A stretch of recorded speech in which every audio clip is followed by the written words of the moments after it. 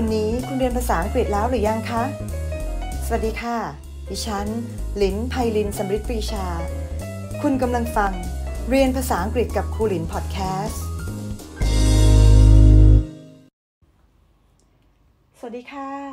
วันนี้กลับมาพบกับเรียนภาษาอังกฤษกับครูลินอีกครั้งนะคะ นักเรียนเคยรู้สึกบ้างไหมคะว่า บางครั้งเนี่ยเราก็อยากจะทักทายเพื่อนต่างชาติหรือฝรั่งที่เราได้พบเจอนะด้วยคำพูดอื่นๆ นอกจากคำว่า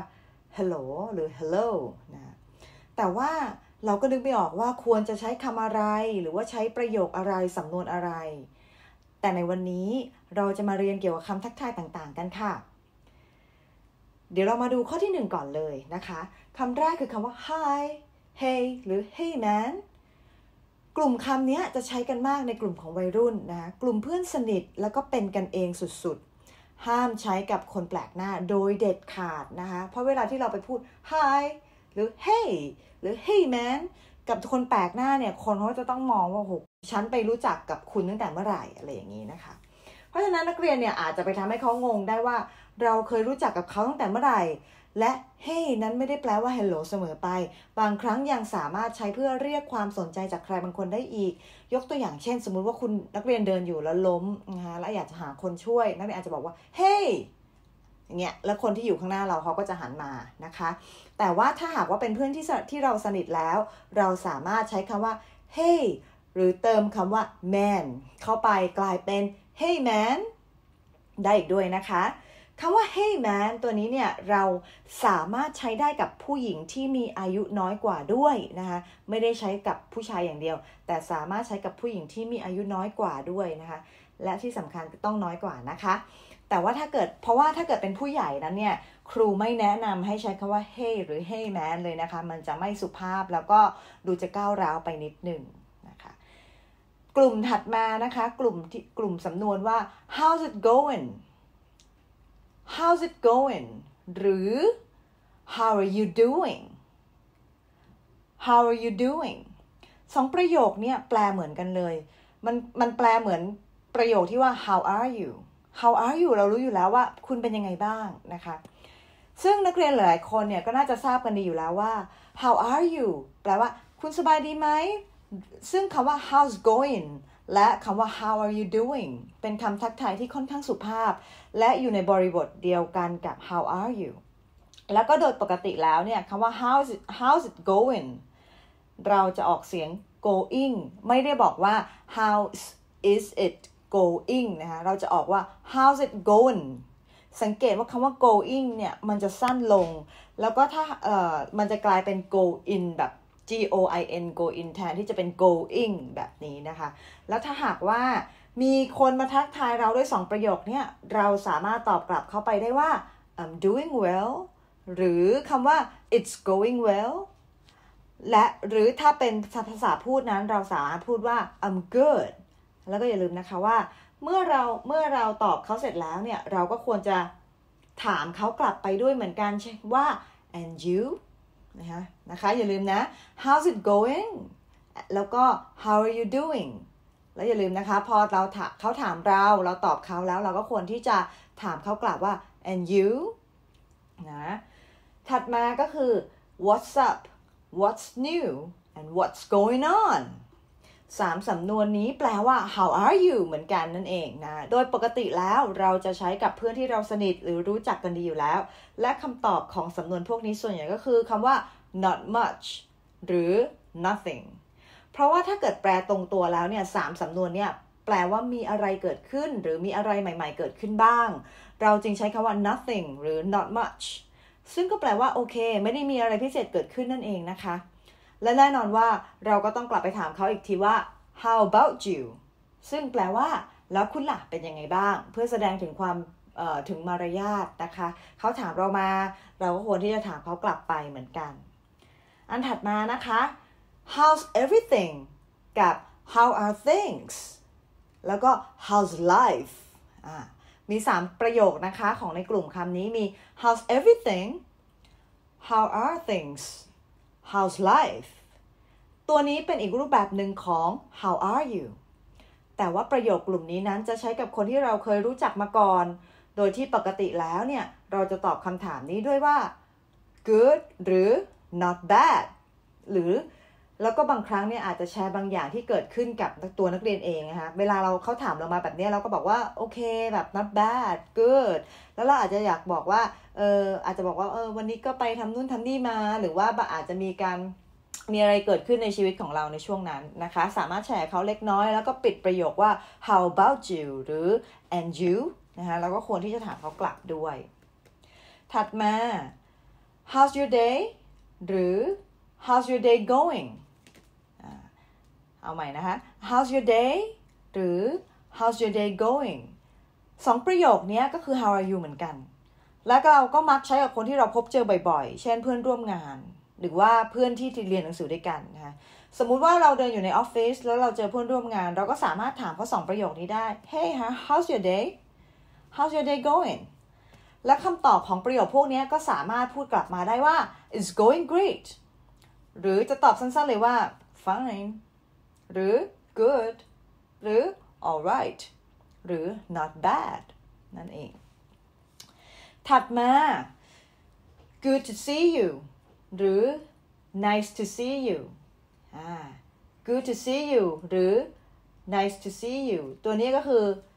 สองประโยคเนี้เรามักจะใช้บ่อยๆ เมื่อเราได้เจอเพื่อนที่เราสนิท หรือว่ารู้จักกันหรือพวกสมาชิกในครอบครัวของเราที่เราไม่ได้เจอกันมาสักพักแล้วนะคะ สมมุติว่า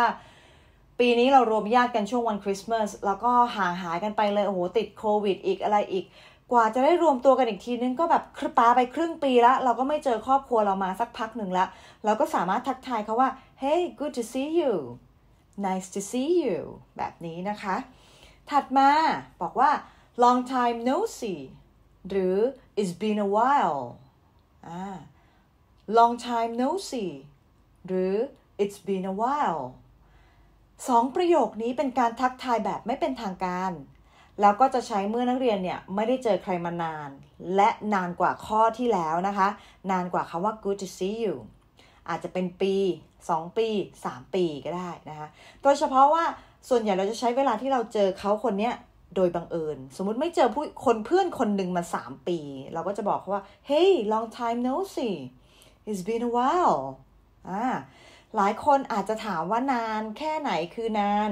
จริง ๆ แล้วอันนี้ก็ขึ้นอยู่กับว่าที่ผ่านมาเนี่ยนักเรียนเจอเขาบ่อยแค่ไหนนะคะ อย่างเช่นว่าถ้าเกิดสมมติว่านักเรียนเจอเขาเมื่อก่อนเนี่ยเจอเขาอาทิตย์ละสองถึงสามครั้งเลย แต่ว่าอยู่ๆก็ไม่เจอเขาแบบเป็นเวลานานมากเลยสองสามเดือน แล้วพออยู่ๆบังเอิญเจอกันก็สามารถใช้สองประโยคนี้ได้เหมือนกันนะคะ ไม่ได้จำเป็นต้องเป็นปีอย่างเดียวเนาะเอาละค่ะ กลุ่มต่อไปจะเป็นกลุ่มที่การใช้เป็นการทักทายทางธุรกิจ แล้วก็ทำทักทายที่เป็นทางการมากขึ้น สังเกตว่า 7 กลุ่มที่ผ่านมาเนี่ยครูกำลังพูดถึงกลุ่มที่เป็นสำหรับเพื่อนญาติ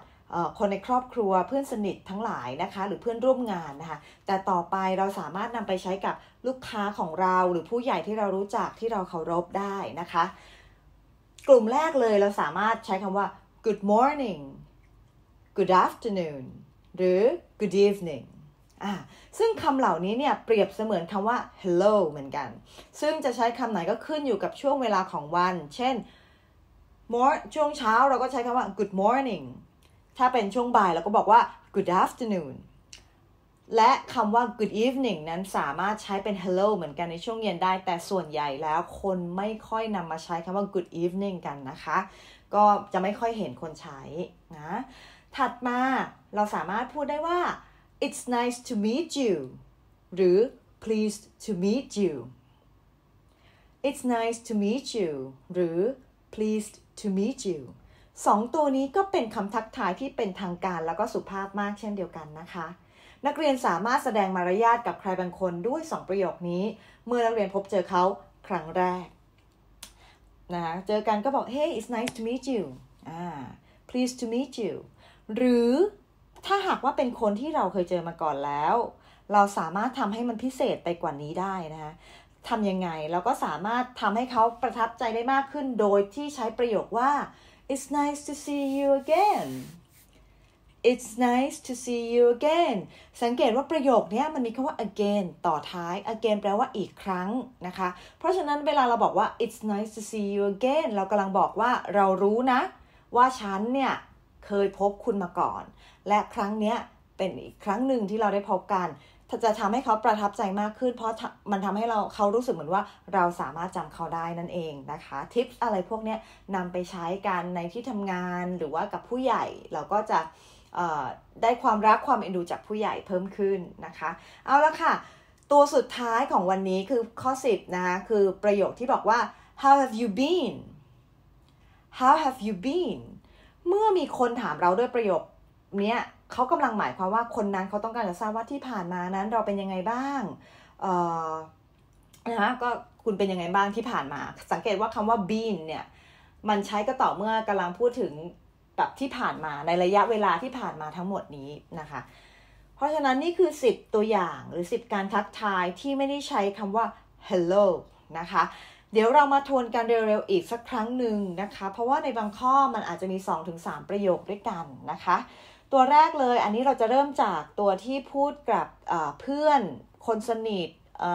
ครอบครัวเพื่อนร่วมงานนะคะ เอาอันนี้ก่อนเนาะมีทั้งหมด 7 กลุ่มด้วยกัน กลุ่มแรกก็คือ hi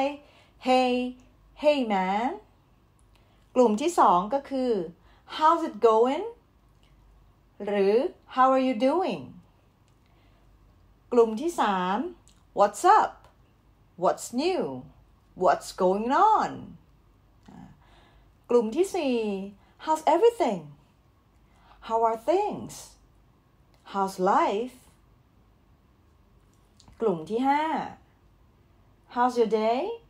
how's your day going กลุ่มที่ 6 good to see you nice to see you กลุ่มที่ 7 long time no see it's been a while อ่าถัดมาก็จะเป็นกลุ่มที่สำหรับทักทายทางธุรกิจ หรือคำทักทายผู้ใหญ่อย่างเป็นทางการนะคะ กลุ่มที่ 8 นะคะ Good morning Good afternoon Good evening กลุ่มที่ 9 It's nice to meet you Pleased to meet you ในกรณีที่เราพบเขาครั้งแรก และถ้าเกิดเป็นกรณีที่เราพบเขาอีกครั้งหนึ่งเคยพบกันมาก่อนแล้ว เราจะใช้ประโยคว่า it's nice to see you again it's nice to see you again กลุ่มสุดท้ายกลุ่มที่ 10 นะคะ how have you been ที่ผ่านมาคุณเป็นยังไงบ้าง เอาละค่ะ นั่นก็คือทั้งหมด 10 กลุ่มของคำว่า hello นะคะ เพราะฉะนั้นครูไม่ได้ต้องแปลอะไรมากนะเพราะว่าจริงๆ แล้วในแต่ละสำนวนในแต่ละประโยคนั้นสามารถแปลคล้าย ๆ กันนะคะคือถามว่าเป็นยังไงบ้างที่ผ่านมา หรือว่าเป็นการทักทายนะคะทีนี้ก็วันนี้ก็น่าจะมีเท่านี้เนาะแล้วก็ถ้าหากว่านักเรียนเนี่ยได้ฟังเรียนภาษาอังกฤษกับครูหลินมาตั้งแต่ episode แรกจนถึง episode นี้ นักเรียนจะได้เรียนคำศัพท์ และสำนวนภาษาอังกฤษไปแล้วทั้งหมด 257 คำหรือสำนวนค่ะ แล้ววันนี้ก็มาถึงช่วงสุดท้ายแล้ว วันนี้ครูไปก่อนนะคะ พบกันใหม่คราวหน้า สวัสดีค่ะ เป็นอย่างไรกันบ้างคะสำหรับเนื้อหาในวันนี้ สามารถติดตามเรียนภาษาอังกฤษกับครูลินได้ที่ Facebook Spotify Apple Podcast และ YouTube อย่าลืมกด subscribe และกดกระดิ่ง เพื่อไม่ให้พลาดคอนเทนต์ดี ๆ ด้วยนะคะ